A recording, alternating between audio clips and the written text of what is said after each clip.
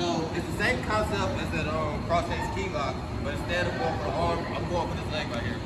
So he's just part tail defense. So I'm deep posting, I'm just crossfacing here. Okay.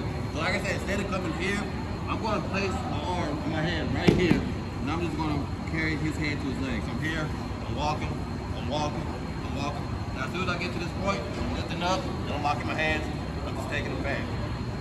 Now, so the important thing about this move is, I want to put my knee in his kidney, and I want to put my head in his temple. I want to push away with my knee, and I want to bring, uh, I'm going to bring his head towards my forehead, just so I can secure my fall.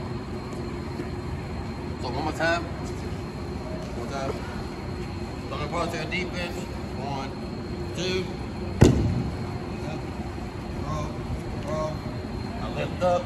I lock in my hands. Put my knee in his kidney. I'm putting my head to his temple. I'm getting my ball.